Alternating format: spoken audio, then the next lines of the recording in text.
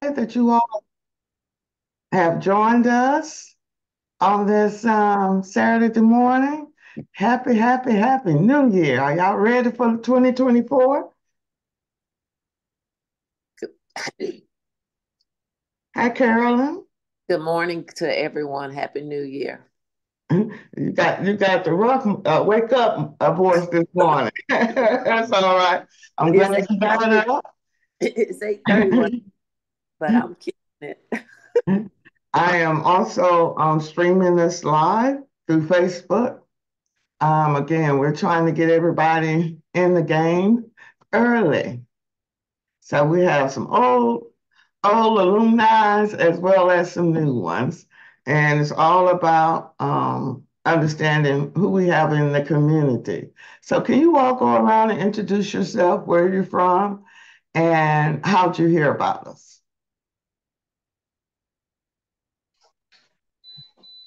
Uh, I'll start. So I'm Terry King, um, owner of Terry King Commercial. We are a full service commercial real estate brokerage. Um, we specialize in uh, retail, office, and uh, land leasing and sales. Um, and I heard about you guys at uh, the Atlanta Business League. Miss Paula and I met on uh, Super Tuesday last year.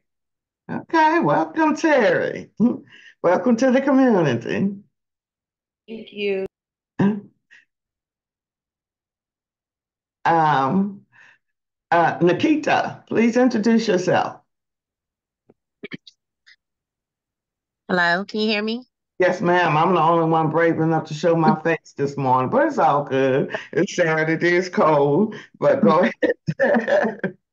Um, Yes. so I'm Nikita. I am from White Plains, Maryland, and I um was given your class information by Kimberly Lumpkins. Um, and I'm excited to be here and learn about the contracting world. So And what's your I your am a background? contractor now, and you know, of course, uh, the greater goal would be to have my own contracting business. And what's your background? And what? Um, my background is management analyst, um, analyst, or I guess, yeah, administrative support field for federal uh, contracts. Yes. Well, thank you. Welcome, welcome, welcome. Thank you, Thank you. Kimberly, for inviting her. But uh, Katrina Johnson, please introduce yourself.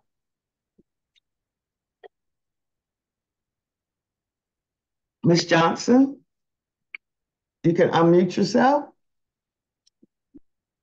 while we're waiting on Miss Johnson to unmute themselves. Um, Jay Hill, please introduce yourself. All right. Mor- Yes. Morning. Good morning. Good. Mhm. Hi, uh, I'm Jamar Hill. I'm here with my wife, uh, Jamila Hill. Um, we're in Columbus, Ohio. Uh, we're interested and excited to learn more about the federal contracting world uh, as well. So thanks for having us. And what's your background? And how'd you Uh, hear about us? My background, I am an entrepreneur. I know that's that's vague, uh, but developmental disabilities agency, staffing agency for develop, developmental disabilities. Um, and my wife, she's a RN BSN. She works in insurance. Okay, and how'd you hear about us? Uh, we were referred by um, a lady we met at a Panera Bread. so, yeah, so GPI Panera Bread in Ohio. it's Ohio, yes, ma'am. I love it. Well, welcome, welcome to the community. Tamika, please introduce yourself. Mommy. Oh, good morning. Good morning. Happy New Year. Happy New Year. Um, my name's Tamika Nance. I am in the Atlanta area. Uh, I follow you guys on Facebook and LinkedIn. So I see all your announcements and it's 2024. So I told myself this is the year I'm going to launch my business and I wanted to learn more about federal contracting and see if that's a way and also to bringing in business. And my background is project management and Okay. financial analysis. I So, love it. Welcome to the PM. community. Thank you. Thank you. Um, Carmen Phillips, please introduce yourself.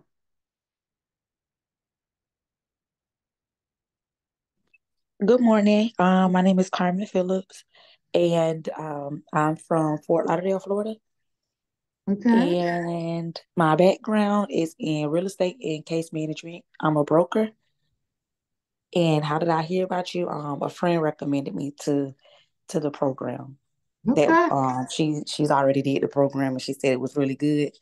Um, I wouldn't waste my time or money, so she recommended it. Okay. Well, thank you, Carmen. Welcome to the community. Thank you. Kimberly D. Yes, good morning, everyone. Uh, my name is Kimberly Dawkins. I am a, uh, I reside here in Hollywood, Maryland, Southern uh, St. Mary's County. Uh, I work as a realtor sales agent here in the DMV area.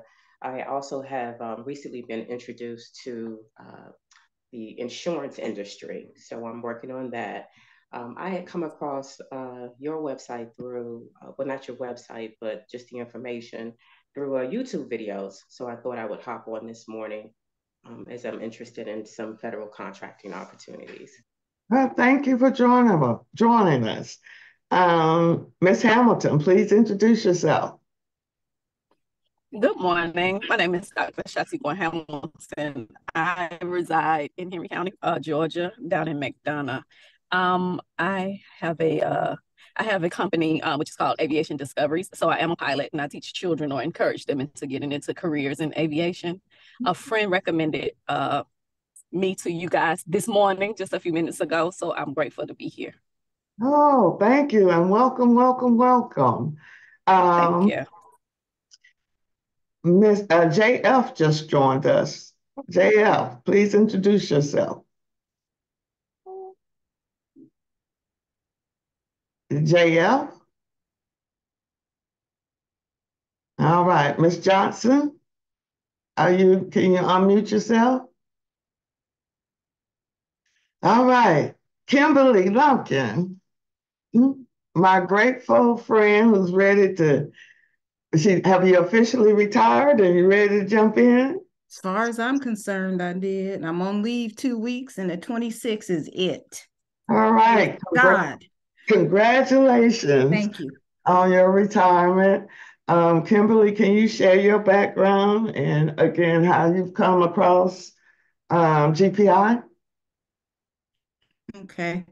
Well, I have been involved with GPI since 2016, and I just retired from CDC. And I've just basically, and, and I've done a number of things over the years of working for the government. And um, I finally have retired so that I can uh, go after these government contracts. I've been waiting, was this, well, like I said, since 2016, and I'm I came across GPI from working with a contractor that got a contract at CDC. And one of the things that I always say is, I've been there so long, I never saw people of color winning contracts at CDC. Mm. And I asked, how did you do this? And the rest is history. well, thank you, Ms. Ms. Kimberly. Now it's time to put everybody on steroids this year. Um, I'm excited. I just I just spent two weeks in Jamaica, so I'm fresh, ready to go, and ready to create some more millionaires this year. Are y'all in? Is that a goal? I'm all in. I'm ready. All right, let's just go ahead and jump into today's presentation. I have a lot of information to cover, but um, the goal is this, this webinar is primarily to just to give you a short overview of government contracting as well as our program. Um, make sure I have the right uh, web, yes. We are government procurement innovators, your solution to federal contracting.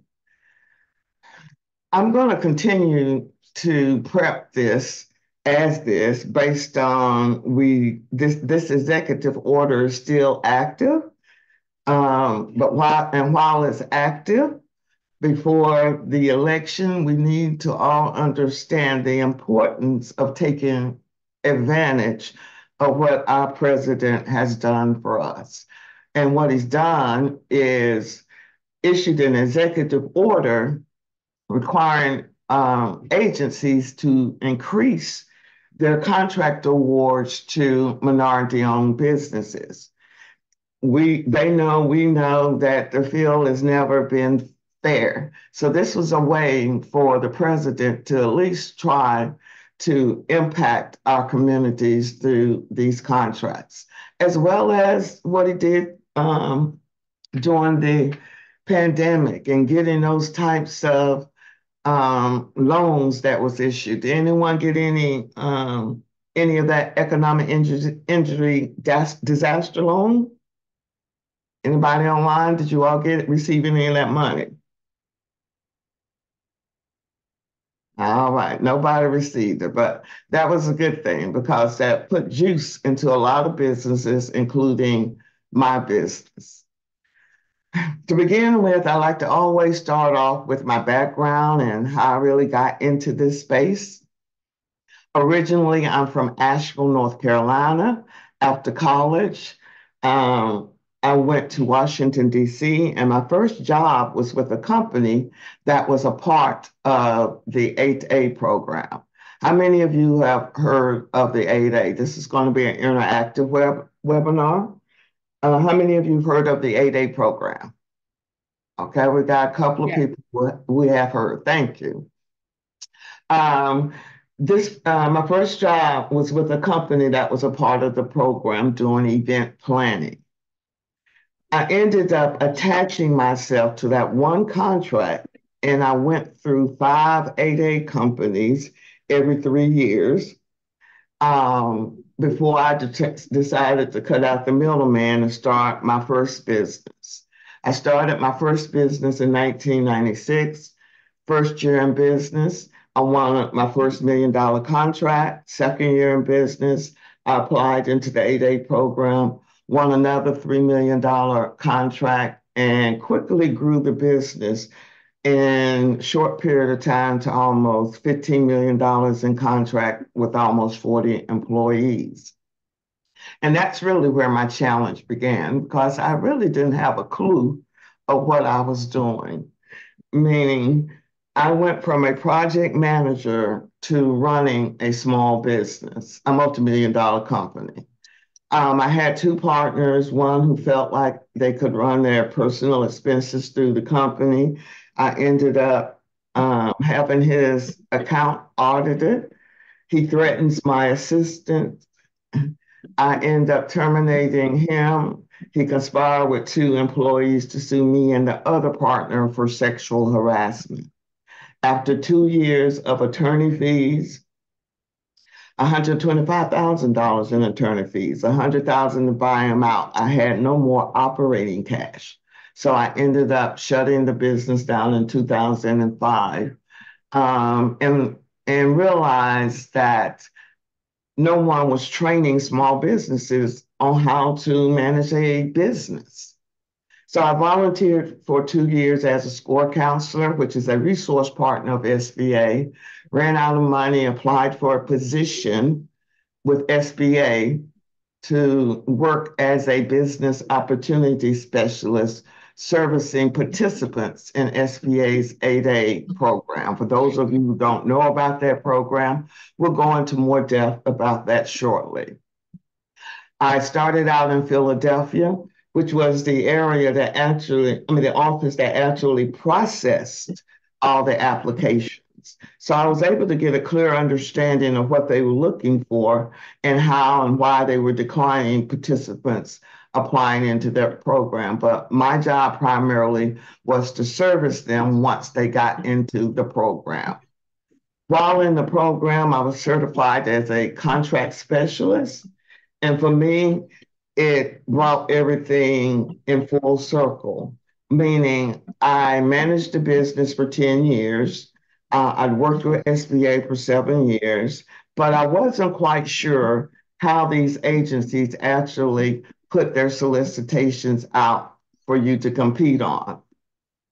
So um, understanding that, that made sense to me. So I left SBA in 2015.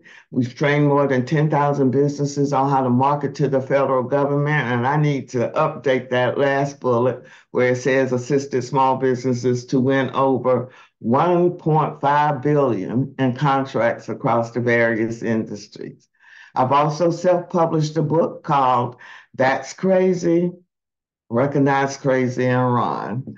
Um, it's somewhat describe some of the challenges I've had in that business, but the names have been changed to protect the innocent. So when you look at trying to get into this space and understanding what I was seeing specifically while working at SBA, I began to understand the challenges that people were, were having. Meaning, if I hosted a workshop at SBA, people will leave out and it's great information. Everyone's excited. Um, we tell you to go to the resource partners uh, to get more information. A lot of times you spend a lot of wasted time because no one really understands SBA's regulations. And unless you have worked on the inside of SBA, I will consistently say no one understands them. And they're a major part in this uh, in this area. And it's the same with the government agencies. No one really understands how SBA operates. So what are some of the barriers that happens for uh, small businesses entering into the space? First thing is understanding the government language. Oftentimes, when you go to some of these events with the government, they're speaking in acronyms and they're un- they're assuming that you understand what they're talking about.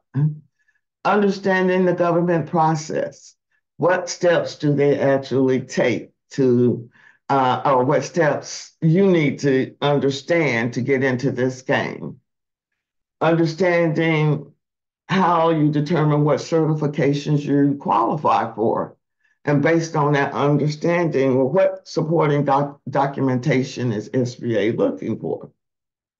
Also understanding no one talks to each other in this space as relates to these agencies, meaning um, GSA has their own website, which manages the registration processes for small businesses, and then SBA have their own website.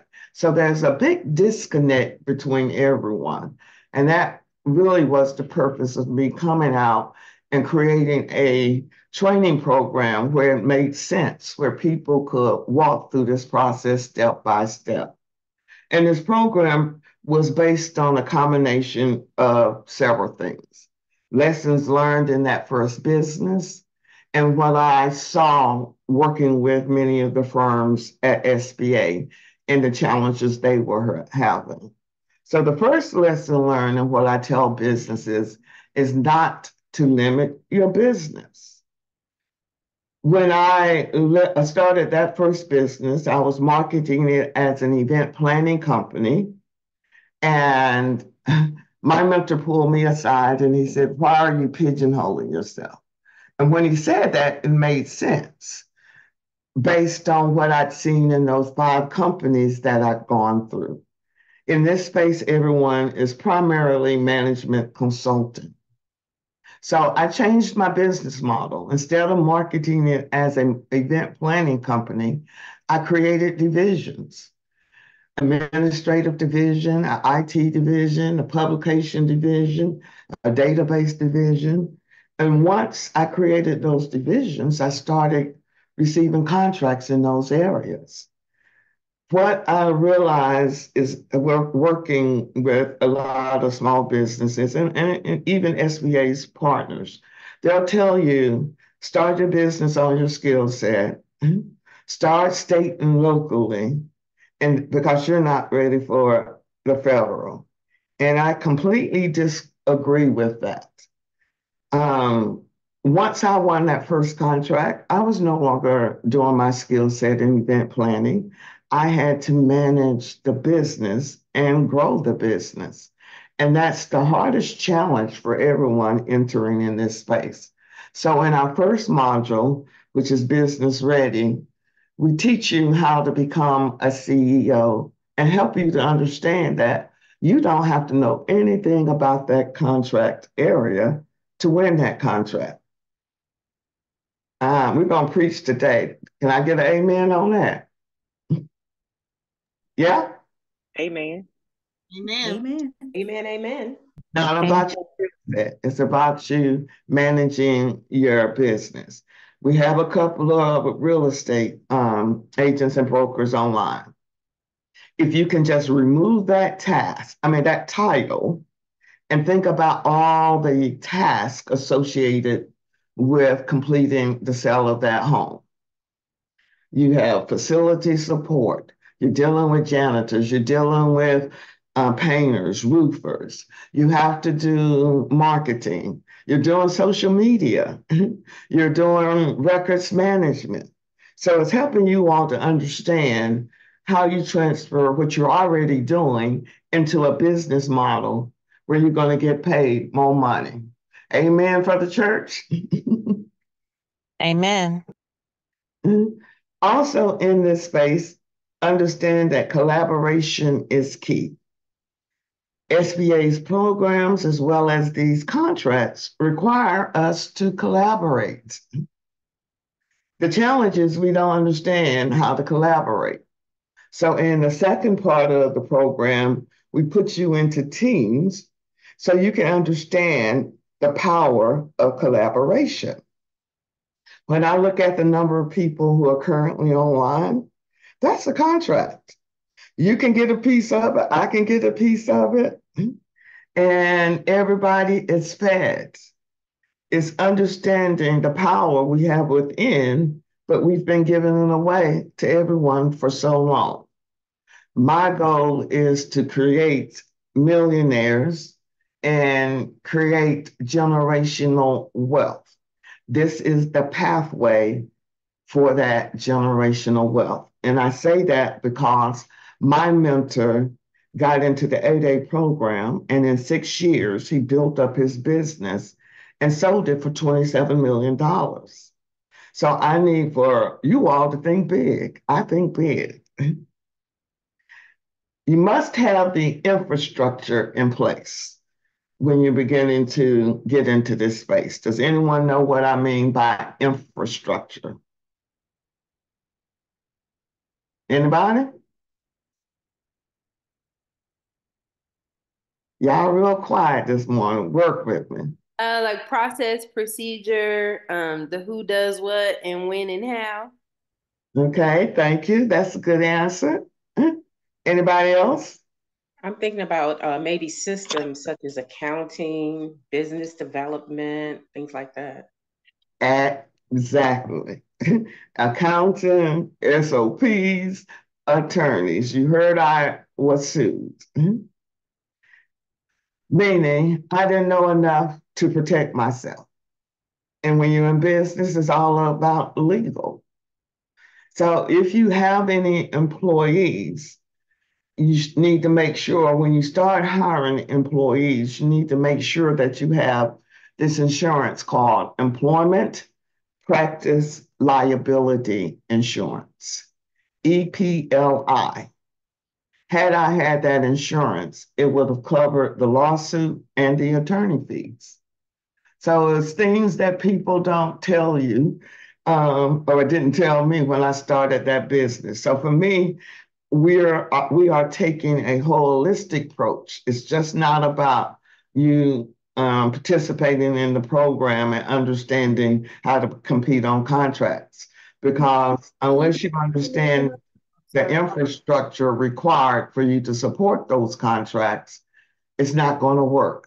Does that make sense to everybody?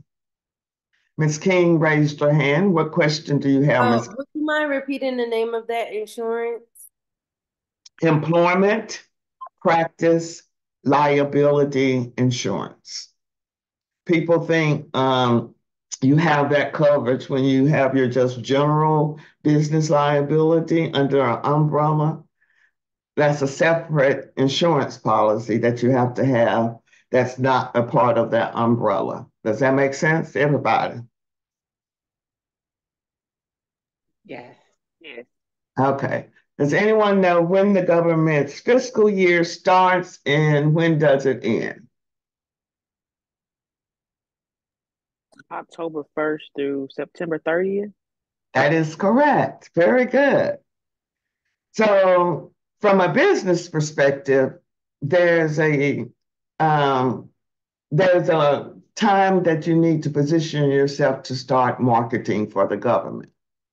Because what happens um, September 30th and October 1st, most of the time Congress has not passed the budget. So these agencies are operating on what they call a limited, I'm on a continuing resolution, meaning they have limited budget. So most of the time during this time, would you agree with me, Kimberly? These agencies are really sitting around twirling their hand, waiting on the money. Yes, ma'am. It, it is the downtime. So that's the time that you really want to begin to start getting in front of those buyers, building those relationships before they get their funding. Generally, um, can you estimate this, um, Kimberly, for me? If the continuing resolution right now, I think is scheduled to go through February uh, 2nd. When does the agency actually receive that money after they pass the budget? How long thereafter? It's about a month, about a month or so. Correct. Mm-hmm.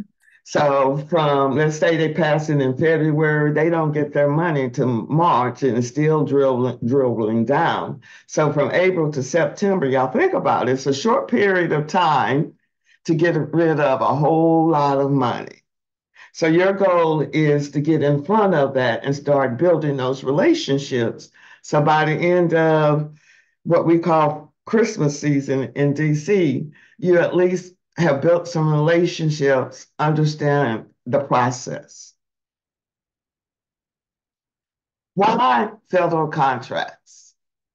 Every year, SBA sets aside goals for each of these agencies, meaning 23% of contracts have to be set aside specifically for small businesses.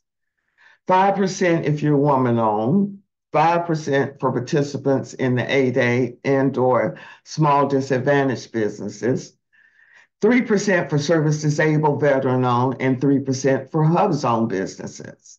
And SBA grades the agency each year on how they fared in meeting those goals. So some of the strategy that we teach is maybe targeting these agencies that did not meet their goals. But if you look over here, um, it was a lot, a lot of money, which was awarded to each of the set aside programs uh, at SBA. So, what does that really mean for you? Let's say you market an agency and they award you a contract for $100,000 that agency now gets credit for that $100,000 and you being a small business. Now, let's say you're a small business woman owned. Now that agency gets 200,000 credit towards their goals. So the more certifications you have, you're helping those agencies achieve their goals. I am I pulled out this data because this is truly a data, I mean, a program to my heart that they are really trying to destroy just based on that um, ruling in the summer. But I wanted you all to get uh, understanding the value of this program. This is a program that's designed to build your business for nine years. So I went to this website, USA Spending, and we'll go through that shortly. So you can get a, a general idea of the types of contracts or, or what agencies were awarding in this program and the dollar amount. I've also included the top 10 industries. So we're all about strategy here. We're all about shaping a business model around um, where the money is, where the contracts are being awarded. I also pulled this report, which was issued in 2022, because working at SBA, I really began to understand where the challenges were. For- it's cold out here. Huh? Um, I am, um, I, I looked at this report and it, it told, it told a story of the value of this program. And uh, this report was issued by the Office of Inspector General. And what the Office of Inspector General does, they come in and examine what, where we were falling short or if we had any shortcomings in the program and servicing businesses under this program. So you can see right here, the $34 billion that was awarded in 2020 in this program, and 11 billion went as sole source, and we'll talk about sole source shortly. But what I realized working with SBA, uh, and I pulled some of this data from that report, I realized people outside of that DMV area really didn't have a clue of government contracting and this particular program, just based on the number of businesses that were uh, that had were included in this 8A program. So if you look at these numbers here, does this tell you all anything?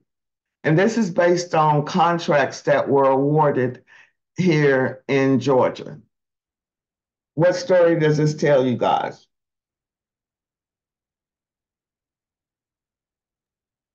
Y'all don't see the story? Plenty of room for me. No competition. right? You got 41% of the contracts um, was DC. I mean, actually Virginia. So you have businesses from Virginia coming to DC, I mean, coming here to Georgia and winning contracts. The Georgia firms, and I pulled this data last night, um, in the last, in 2023, only received 3% of contract awards in this program. All these other states, and I just chose the, the top six, were receiving the most contract awards. That doesn't make sense to me. And I realized that while I was working at SBA because I was responsible for servicing 40 businesses. And if you look at this analysis, you can tell um, that you really, people, when they get into that program thinking that we're going to provide you with all the support and you're going to get all th these contracts. And that's nice, but that's not reality because working there in that position, we didn't have the time. Mm -hmm we didn't have the time to provide the business development for those firms getting into that program. And most of those uh, firms did not receive their first contract until their fourth or fifth year. My goal for my goal through our program is that you're walking in the door with guns. You're not wasting any time. Um, this was previous years where I did the same analysis um, with neighboring states. So what I would tell the businesses here in Georgia, you might want to look at some contracts in Alabama. Less competition. There's only 58 businesses in the entire state that's a part of this program. And that's my goal is to increase the numbers because this program really was designed for minority owned businesses, but we don't know anything about it or how to get engaged. Um, in Florida, I would say it's dominated by my Latino brothers and sisters. They understand the game, they collaborate, and they just keep rolling out, building generational wealth. So this is the website where opportunities are posted, sam.gov. Um, I don't usually use this website. It's, it's kind of throws out a lot of junk. But I wanted you to get a view or a visual of the opportunities that have been posted just, just as, as of yesterday. And what I find is on the federal side, you're not competing with as many businesses. If I'm in Georgia and I see a contract in California, I can compete on that contract. You're not pigeonholing yourself. So that's why I say it doesn't make sense to start with state, state and local because you're competing with a lot more people and you have a better chance on the federal, specifically because they um, set aside contracts specifically for small businesses. Those are the buys that are 250,000 and below. It makes sense to everybody. As an example, I pulled this back in November. This was an opportunity um, that had been posted for the Library of Congress. Um, retail shop supplies, right? This is what the government's looking for a contractor to buy. Do I need to be in the retail shop to go after this bid, anyone? No, you don't need to be in the. No. So it's shifting your mindset. If you do, uh, those of y'all that do event planning, you do parties, right? You do family parties. You're getting these same items. So you're just um, providing, um, you're providing numbers to the government. um, this is what they're looking for. The thing is, it's in volume. So here, they're asking you to provide your costs for each of these different types of bags. So you're putting your costs on top of your quotes. That's how you're making the money.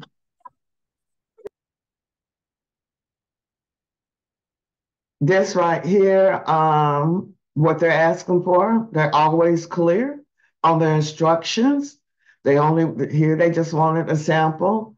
Um, you may you may not, as a business, have what they call past performance, meaning where have you done this previously? You're going to be able to use personal, you can use um, that vendor's experience. This is all only thing that they were looking for you to supply in this particular quote. Um, they're telling you the instructions. I like HUD. HUD always updates their forecast. In this space, um, the forecast is update is what the government's anticipating awarding in that fiscal year. Um, Terry, you had a question before I go any further? Yes, um, you mentioned that um, for past performance, we would be able to um, use our vendor. So in that example, I find a, a, a balloon vendor um, and do I disclose that I'm going to be using balloon vendor Bob in this, and balloon vendor Bob has done a thousand parties? Yes. Okay. Yes. You're getting their reference because that's what you're doing. You have to screen the vendors for the government. And your role in this capacity is project management. And you're in real estate, right, Terry? Yes, but I do have a background in project management uh, also. I can do this. so, and when I'm telling all of the real estate agents, if I can get y'all just to remove that title and think about your life before real estate, everything that you've done in your whole life, now you can apply into this space as a management consulting firm. That makes sense to everyone? Yes forecast. The HUD um, every month will update their forecast. And the forecast is projecting what they're anticipating spending in that fiscal year. The reason I like HUD is because um, this allows you to get ahead of the game, meaning they're going to tell you when they anticipate it being posted on sam.gov, when they anticipate the award, and how long that contract is. I like everything that says new contract because that means um, there's no previous vendor that worked on that contract. So you get a better chance in winning. So when you're looking at this example, the government need retirement plaques. And, and they've given you a general value and they're giving you a contact. So you can't talk to these individuals um, once it's posted and advertised.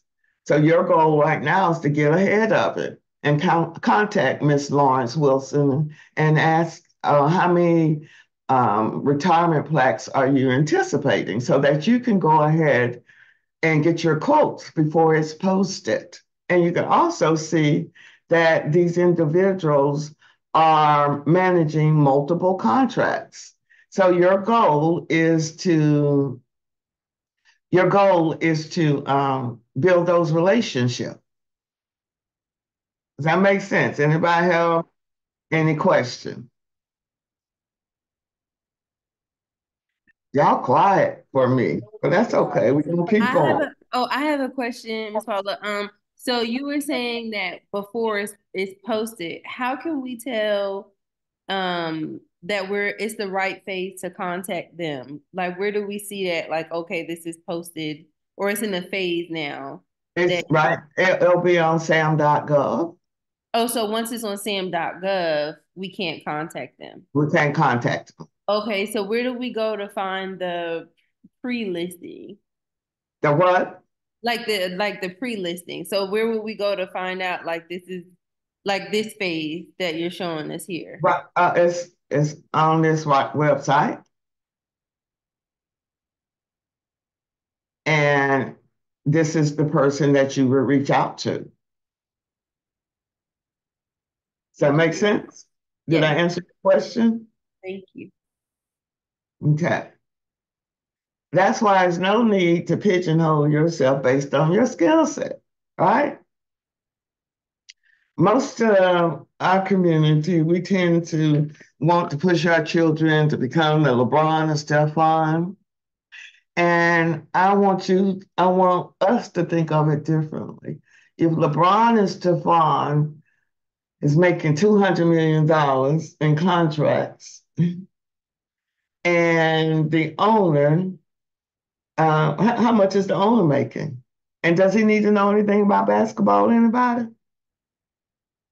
What's his goal? What's the owner's goal at the end of each year? Someone. Making Huh? money. Money. Almighty dollar. And how is he and how money. and how is he going about doing it? Get more players. He's getting his Winning dream team. He's getting his dream team, his five best players. So that's how you're going to build your business model. It's not on your skill set, it's based on who you know in those areas that have the expertise that you can put on a contract. Does that make sense to y'all? Yeah? It does. Yes, it does. I got a quick question. Yes, ma'am. since you're saying this, so let's just say we find a pest control um contract out there. You're saying build a relationship with a pest control company that you value, trust, you screen, and then submit them in your bid. That's it. I think people get so intimidated because the government, but once you understand the government is uniform and once you understand their process, it's not that intimidating. I promise you. So, in order to get into this game, you have to self-certify into this database, System for Awards Management. This is also the database where they're posting opportunities. You can self-certify as a small business as and as a small disadvantaged business. Um, right now, these four programs are now formal certifications, meaning you have to submit an application to SBA and be approved by SBA. The 8A program is a business development program. The Hub Zone program is a program designed to build communities. The women-owned small business is just what it is, and the service disabled veteran-owned small businesses are just, it's just what it is. So when you look at uh, the 8A program, and I say this because, again, I grew up in this program. I lived and breathed through this program because I understood as that 25 year old that this was the key, especially up in DC. Everybody was 8A contracting. And this was the only program that allows you to go to any federal agency and they can award contracts up to $4 million in, in one single award with no competition. That's called sole source. Can I get a church, uh, uh, amen from the church? I don't think y'all heard what I just said or comprehended what I just said. Did y'all comprehend what I just said? Oh, we got it. what did you get? What did you get? What did you get? Hmm? I get that we need to jump on this ASAP. That's what I got. no, no, we don't want to put you in that program because you heard me earlier saying that most of them didn't get in there. I mean, once they got into the program, no one knew what to do with the program. And they wasted four or five years. And you only have one time to be in this program. So, what I'm also helping you to do is once you graduate and this is how you stay in 18 years. You want to always make sure you're bringing someone along, even if it's if you're married. Uh, we have a married couple on here. Both of y'all should have two separate entities so that when one graduates, another can apply, and now you have 18 years. Oh, wow. Mm, I'm giving y'all game. I am not getting nothing from the church this morning. So in other words, what you're saying, this piece, I'm sorry, I have a, uh, yeah. this for clarification. Um, what's standing out uh, for me is this non-competitive mm-hmm. piece here. Um, so it's that's telling me that this allows us on a federal level to not have to go out there and compete with the big boys, if you will. That is correct. Okay. And that relationships with these, I guess these procurement officers or whatever mm-hmm. is important. Mm-hmm. And that what you're saying also um, that just jumped out at me is collaborating. Mm. It didn't occur to me that I didn't realize that you could have a relative. It may mm. be a, a, spouse or maybe an mm. adult child. So I, I, like that piece as well. That's right. That's carry this on. Okay. That's the generational wealth. That's the generational wealth. And um, my question about this, Miss Paula, is um, so if I am joint venturing with other small businesses, um, and we each we each have one, or we go after it separately, um, does it does it count? Like, so for my business, if I got an eight A and then I'm joint venturing with other small businesses, um, can we get the eight A like if for that joint venture, like that? Yes, yes, yes. That's what a joint venture will do. Now you get their certification, and that's some of the game that we teach in the program. How do you team and learn on somebody else's dime? So when you get ready to apply into that program, you understand the game and you're taking full advantage of the nine years. So would that be the same as partnering? Yes. It's prime and subcontracting. We go into details in, in the program. We cover all of that. Okay. Okay? The hub zone does not have a term limit on it. It's based on where your business is located. And 35% of your employees residing in a hub zone area. It doesn't have to be the same area of your business, but just as long as they reside in a hub zone. So have you um um remember what Magic Johnson did? What did Magic Johnson do somebody? The movie theaters, I think, right? Correct. He ended up going into urban areas, building movie theaters, Starbucks, and now he's having them and hiring from within the community. That's the same purpose of this program on the federal side. For the 8A program, previously, before that court ruling in June. To meet the social component, um, as long as you were a member of any one of these ethnic groups, you automatically met the social component and a U.S. citizen. Now, what has occurred is that you now have to provide a narrative on how you've been discriminated against here in America. Um, that's why I'm saying I have a sense of urgency because we've got to become knowledgeable and understanding the game because they are trying to remove us our history, our work. And I, am not going down with a fight. So I want y'all to be able to fight with me to winning these contracts. So this is as crazy as it is. It is what it is. But this is now the new component of uh, understanding um, whether or not you've been discriminated against. SBA also is going to look at your economic net worth. It cannot exceed $850,000 minus any equity in your home and in your business. So if you have rental properties, that equity, the equity in those properties will be counted against you. Also, those of you that are in that real estate industry,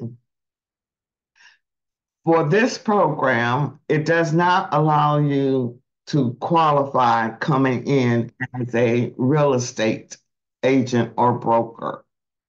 So what I'll tell you is that for your tax your tax returns going forward, you need to um, use this industry code 541 611. That's the management consulting code. You're going to see that on your tax return in the le left-hand co left-hand corner. You want to make sure when you file your taxes this year, you're using that industry code rather than that real estate agent broker code because they do not allow brokers or agents into the program. Ms. Paula, can you repeat the code? 541 611.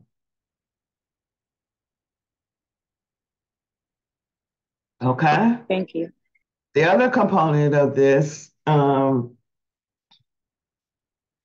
this is another way that um, our community can come together again based on that justice system.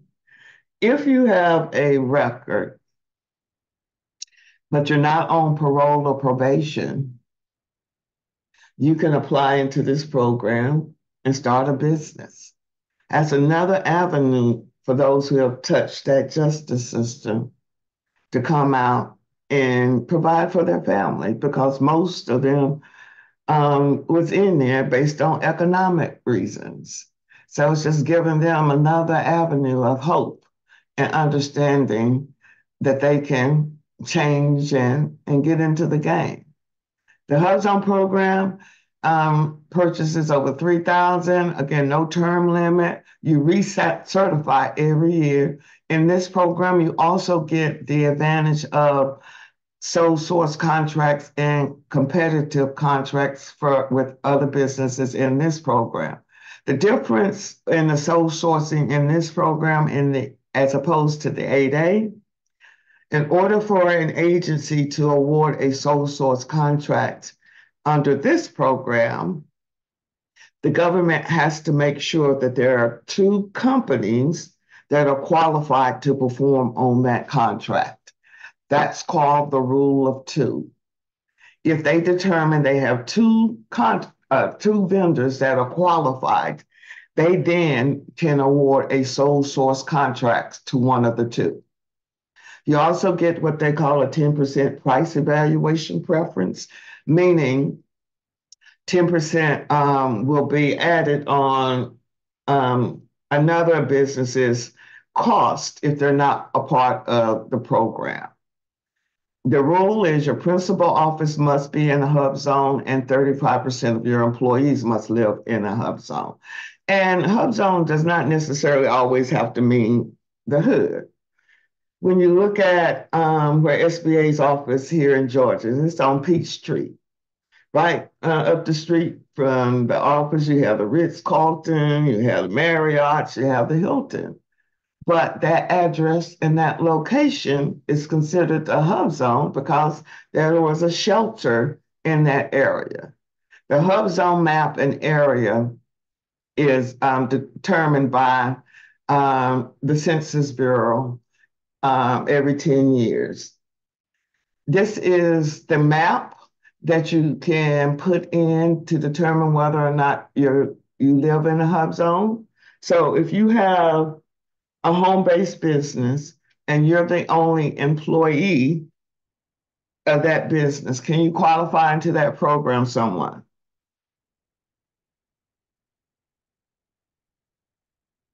That's a question. Can you repeat the question? If you're a home-based business and your business is, is in a hub zone, you're the only employee of that business. Can you qualify into this program? Yeah. Yes. Yes, you meet the 35% eligibility. Once you put it in, this is what will come up, and you can see you can go across the street, uh, and it's not a, uh, a hub zone. The women's program is um, at this database, and that's where the confusion comes in. So you're registering in SAM first before you can even begin to go to SBA's data database. They're not connected. This is the website for the women's program. Once you, uh, the women's program is broken into two components, economically disadvantaged and WOSB. You don't have to apply into both. If you apply um, for the economically disadvantaged, you're automatically qualified as a WOSB. So this is the website that you go to apply for that program. Um, SBA also have a third-party certifier that you can um, pay to do the certification, but through our program, you're going to go through the stuff. You're going to understand what documents that you can uplift and certify yourself.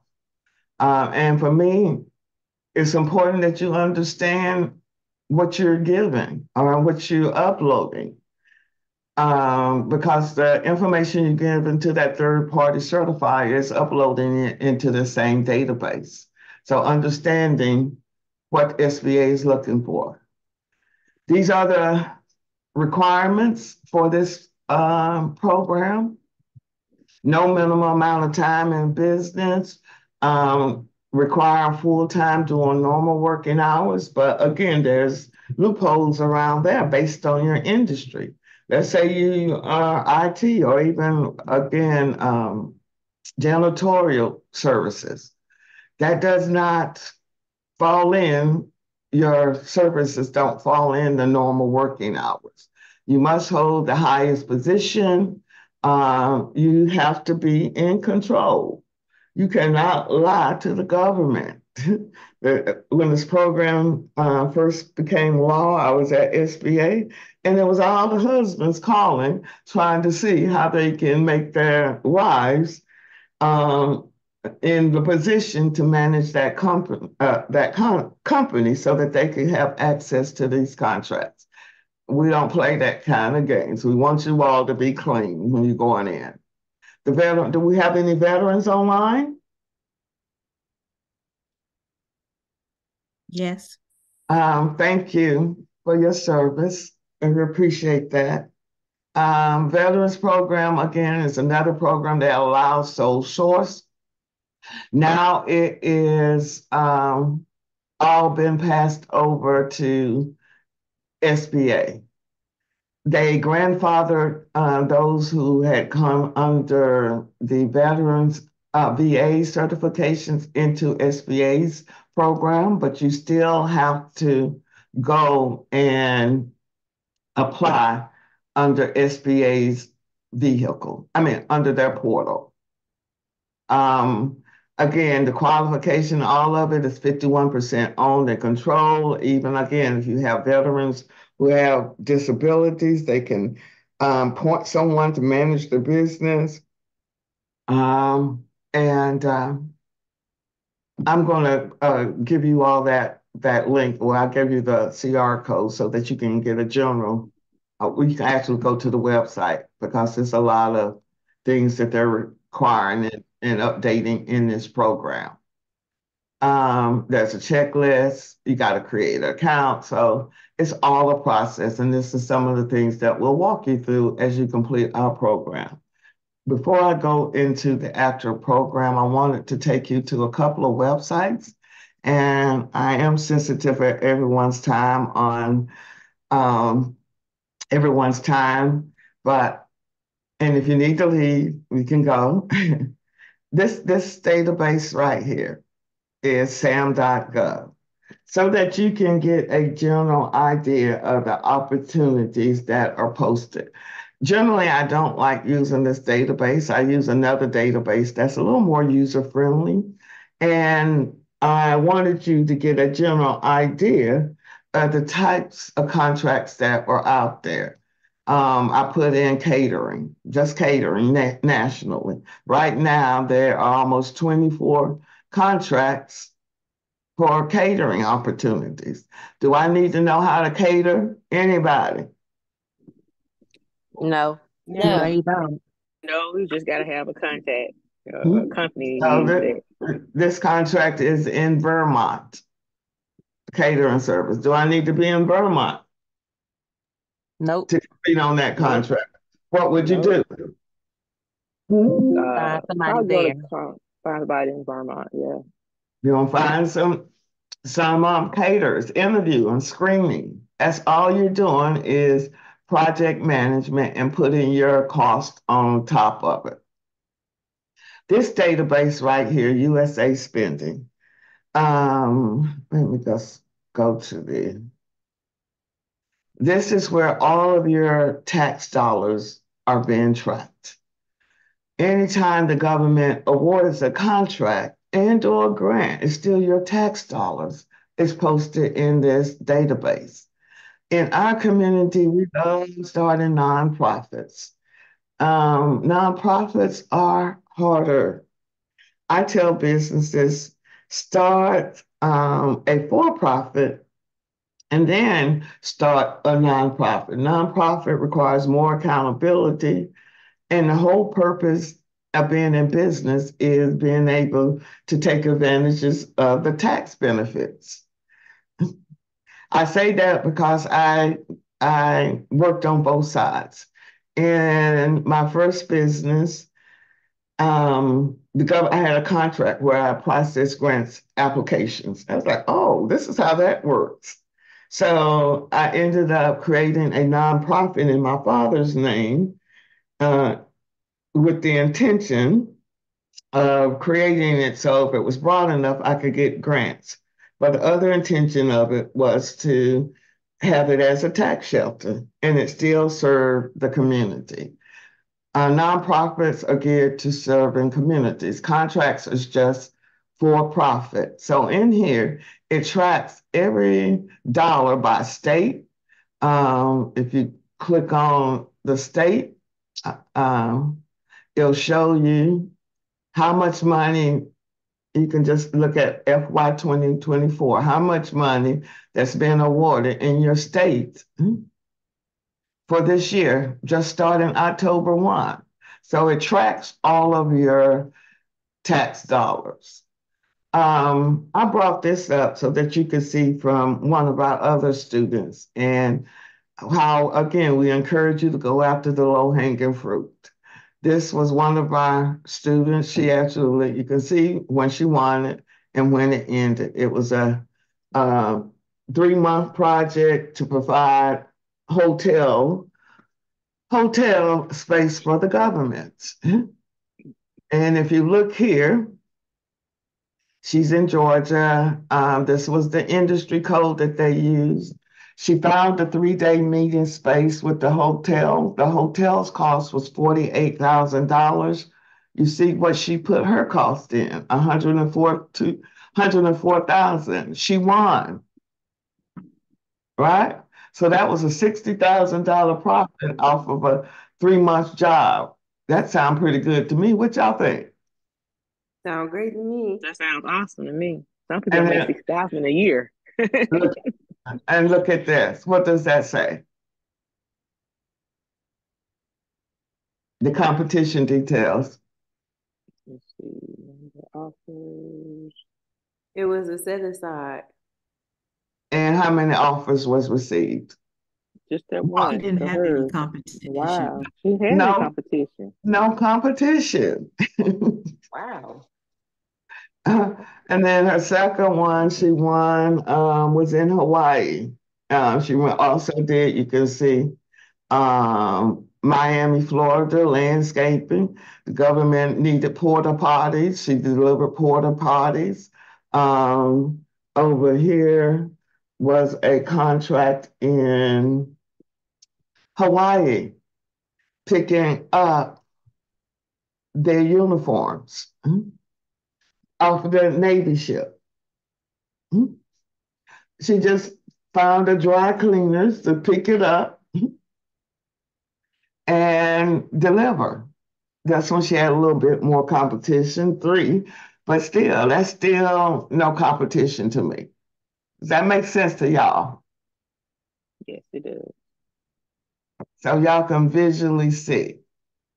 Um, again, when you start looking at um, these these websites, this is our billion dollar bi- uh, baby. I'm so proud of Miss Labrisha and a couple of them. We're doing a, we're going to be doing a conference in May where she turned her real estate business into a billion dollar contract. But she, as you can see, she's not saying it's Dawson Realty, it's Dawson Management. So anyone that is in that real estate industry help you to change your name. And so when you look at the services that she's offering, it's not based on real estate. Some of it is, but others it's across the board, right? This is how you're not pigeonholing yourself into any industry. This was another one of our students' um, website, right? We're helping you create a business model where the government can't tell if it's just you behind the scene or not. Terry, you had your hands raised? Yes, and so um we can do this now, right, with our website. We don't have to wait until we win to then put this stuff on here. Uh, I say you have to come through the program until you, you got to understand what's involved in all of this. Hmm? Before you create that website, you don't want to put something up if it's not making sense. Understand the process. As you can see here, this was another one of our students. This, th- these are the things that was produced once they completed the program. Um, When is the next program or class start? we we getting ready to go over Oh. that shortly. But you can see here, you can't tell what size company this person is, can you? No, you can't. It's all That's a nice website too. it's all on, and then she's using her resume to say, I've done these types of things, not necessarily under the business, but uh, personally as the owner of this business, I've done certain projects in these areas that I'm selling. Yeah. The whole goal for me is um, we create a community, understand the power of us collectively coming together and how we can reestablish our community because no one's going to take care of us better than us. Um, in here, um, in here, I have a database. We have almost 2,500, 2,300 businesses in here. My goal was, again, if I'm here in Georgia and I see a contract in California, I can reach out to those vendors or people that are already in this database because now they understand the language, understand we can come together, we can partner and go after opportunities and they can uh, and they can um, find some of the vendors in whatever state that you're looking at the opportunity. I also would encourage you to go to the business too, and part of our part of people becoming part of the community is about each one teach one. You have to come back and share. We have to we no longer can afford to hoard the information and the knowledge. So these are some excellent webinars that you can go and listen to uh, as everyone tells their journey in this space.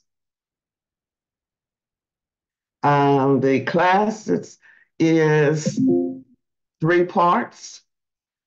Um, everyone has to start at the same place even if you have an existing business, um, we make everyone start at the same place, which is business ready, because you need to understand what type of documentation SBA is going to be looking for. And as you begin to apply into these programs, the second module is all about teaming. We put you into teams and you have team deliverables. Um, the third module is all around your business plan and the 8A program, helping you create a strategic marketing plan based on contracts expiring and, and aligning yourself up with those businesses that have those contracts that no longer can keep them. But in this first module, we want you to start looking at those low hanging fruits so that you can start understanding the process for yourself. Um, the class will start Tuesday, January 23rd. Also, I'm sorry, the price of it is $24.97. If you bring in a second person, that second person's cost is a $1,000 and it's a maximum of two people, two per team. We have to have a minimum of 15 people to begin the cohort. Um, the next cohort will start Tuesday, January the 23rd from 8 p.m. to 9.30 p.m. Eastern Time. You're meeting with a live instructor. Um, I'm pulling um, people from both sides. So I'm excited about Ms. Thurman. She's bringing a whole nother depth of experience. She's not only um, ran the Office of Government Contracts in here in Georgia's office, uh, was the deputy director, she's also a contracting officer. So she's able to feed in to things that I may not see from a contracting officer's perspective. Um, and we also have a self-pace, uh, meaning we have 16 pre-recorded classes. Um, you can go at your own pace and you also get to participate in the office hours and the lab sessions. Uh, office hours are held every Wednesday from 6 p.m. to 7 p.m. That's when all the classes come together. And I'm I'm usually the one teaching the office hours or in the office hours and asking answering questions and going into more depth of some of the trainers' uh, materials because it's a lot of information. The lab sessions are on Thursday from 6 to 7 p.m for those who may be technically challenged in navigating through some of the websites and what you're looking for. That's the purpose of the lab sessions. When you complete your first module, these are the items that we're looking for as part of your deliverables, your tangible items. This program is all based on you doing the work. I do not guarantee or promise that you're going to have all of this by the time you complete this program. I can't because you have to do the work. Um, the second module, again, this is the team project that comes together and what you have to submit as a team. And then the third module, we're teaching you, uh, I provided sample RFPs, winning proposals um, that I won in that first business. My whole goal is helping you to understand that you do not have to reinvent the wheel. Um, if you're interested in purchasing um, that's crazy, recognize crazy and run. That's the Q QR code. And with that being said, that concludes my um, webinar. You, you all have any questions? I have a quick question. Yes. Um, could you step back regarding, um, I think you had mentioned folks who had, uh, had been involved in the legal system. Um, you were saying that unless they have, they're currently on probation, uh, that they are able to participate or register as a business? No, they cannot be on probation or parole. Okay. They cannot be on probation or parole. Okay, but in other words, they, you know, if they've been involved involved in the system, as long as that's been resolved, they can move Correct. forward. Okay. Absolutely, absolutely. They just, it, it- the only difference is they have to provide a fingerprint and it goes to um FBI to make sure you tell them and disclosing all of your involvements. Um, but I've had, again, people with records as um uh businesses in my portfolio, so we don't have to let that stop us. Okay, and does that same rule apply for um, a person who is uh, considering hiring someone uh, to to um, Um, yes, um, well, not necessarily, but if you are hiring those individuals and you're putting them on a military base, like for janitorial landscaping services, that might be a little more challenges because they have to do, they do have to go through background checks, um, if you're having access to federal facilities. But let's say they're in IT, uh, no, we're IT. Um, or, or again, event planning or something. That doesn't require that individual, that job to be, have access directly to those base, I mean, those agencies. okay, Okay? thank you.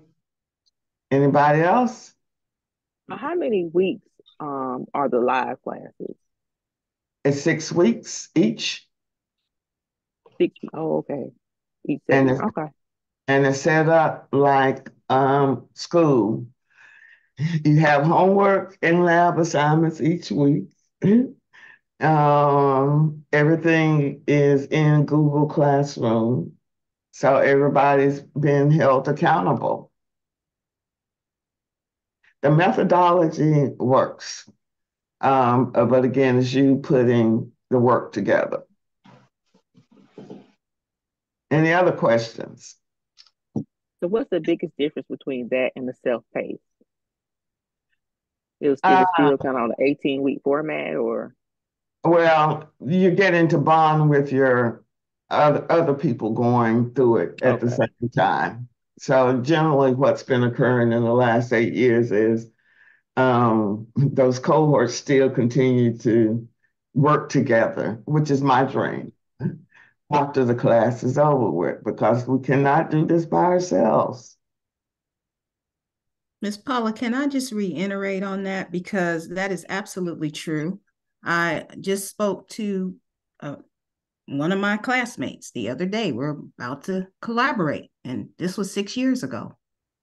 So you build relationships.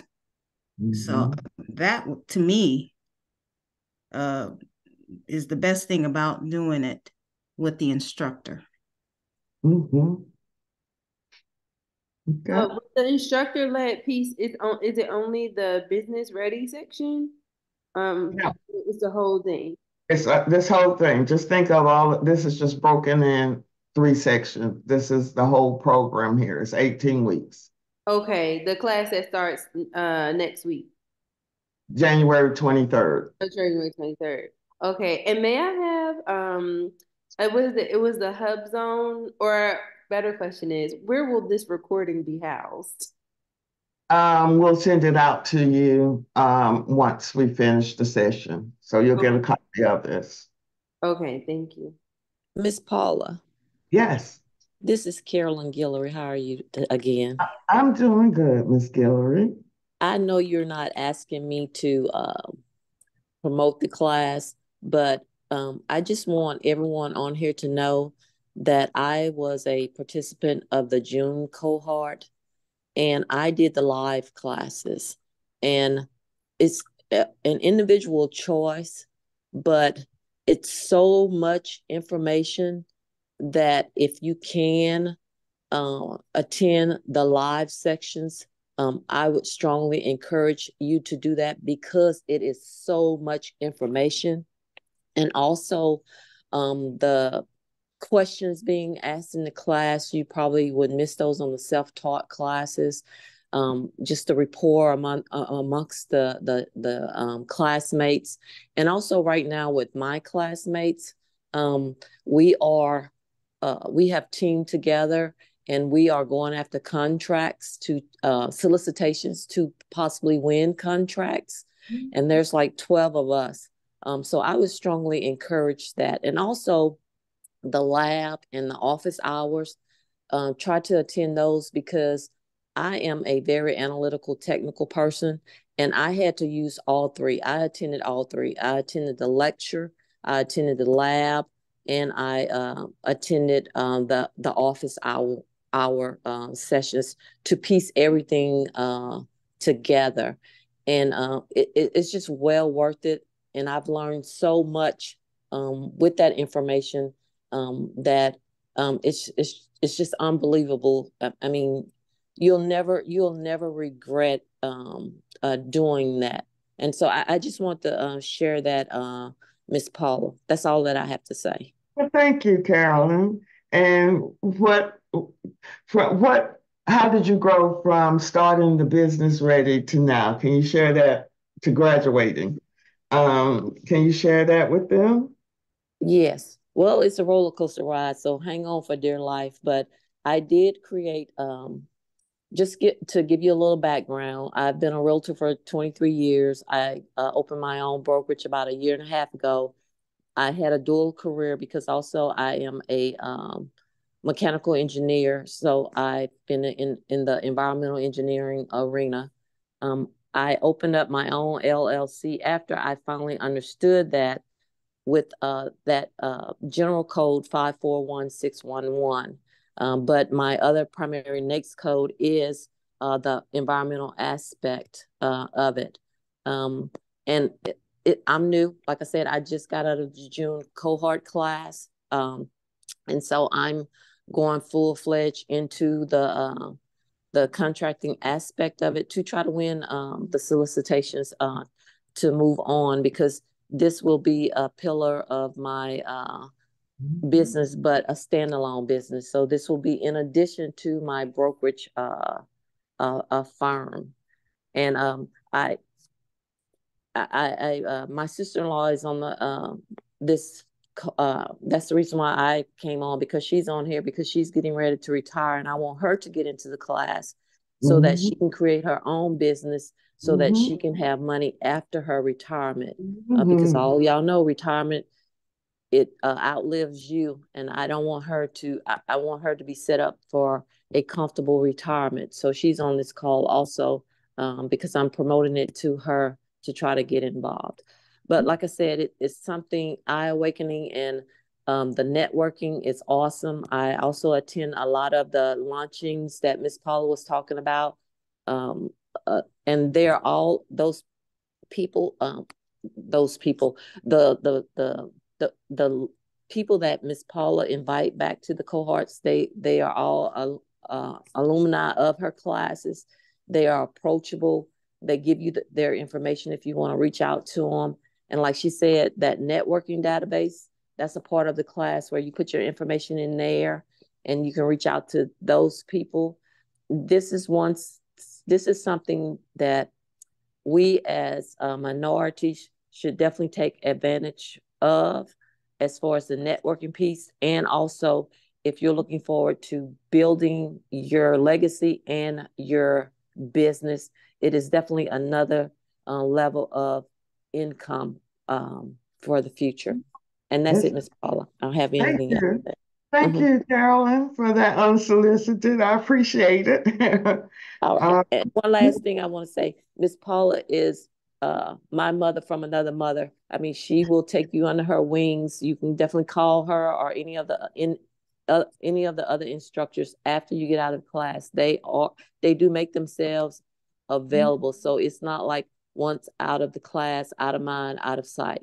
So definitely appreciate uh you for that, Miss Paula. Well, thank you. It's all about the future for me. So once you're part of the community, you're part of the community.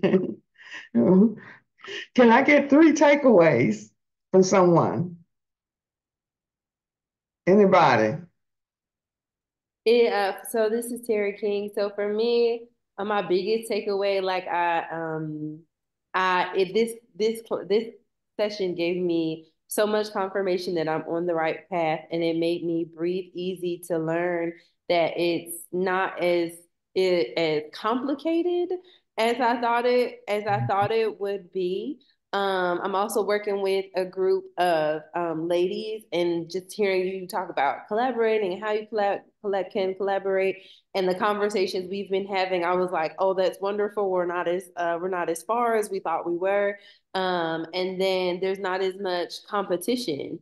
Um, you know, and and until this class, you're the very first person, and I, I agree with you, but the, you are the very first person who's experienced in this field that said you don't have to start local, right? Like you don't have to start with your city or your county or your state. It's not like a graduation program because you have the knowledge to manage the project. And so just, just and it takes, you know, being in real estate, I you know, it takes the same amount of effort and paperwork to do, you know, a thousand dollar deal versus a million dollar deal. So just go after the million dollars. There you go. There you go. Thank you. Uh, Mr. Hill, what was your takeaway? Hi, this is Jamil. I'm his wife. I'll um do his takeaways. Um, just that, you know, even with this business to get your family and get your kids involved, have your, you know, your spouse involved. I mean, even with the um having the separate entities with the SBA. I thought that was very um very good. Um just giving us all the jewels we needed with the different certifications that we needed, um, that we uh, qualify for as being um, minorities. I think that's a mm-hmm. great takeaway. And not limiting your business, creating divisions. I mean, everything you said was was really was really fascinating. So looking forward to it. And also I have one question. Is everything all of you the payment is due all at once, correct? That is correct. However, I do have a link with PayPal where they do offer a no interest, no finance, I mean, no interest for six months, where it could be broken up that way. Okay. Okay. And that's on your website? That is. Okay, awesome. Thank you. Okay. Anybody else? One more takeaway and we can close the day. I have a takeaway. Yes, ma'am. Miss Johnson. Yes. Good morning, everybody. This um, session has been remarkable. Um, so the takeaway I have is I started off trying to do contracts in my skill set, mm-hmm. but I loved what you said about thinking bigger and we're mm-hmm. building an infrastructure, we're building a business. So that shifted my mindset immediately. So now I'm not thinking about just my skill set, but how I can collaborate with others and be able to manage a business and not mm-hmm. work in the business. All right, you already got an A for the day. That- that's good. Um, again, thank you guys for joining me this morning. Um, happy New Year's, and let's make 2024 our year because we can't control what's going to go on on the outside. but we can control and understand that the government is always going to be issuing contracts. That's not going to go away. And let's make the commitment to make a difference. Because once you all start winning contracts, then I know your children's children are taken care of. This is the game that we have to be serious about because it's, it's scary out there. With that being said, I'm going to thank you guys and hopefully you'll be a part of the community. Thank Have you. a great Very good weekend. information. You Mhm. Thank you so much. Thank you. Thank you.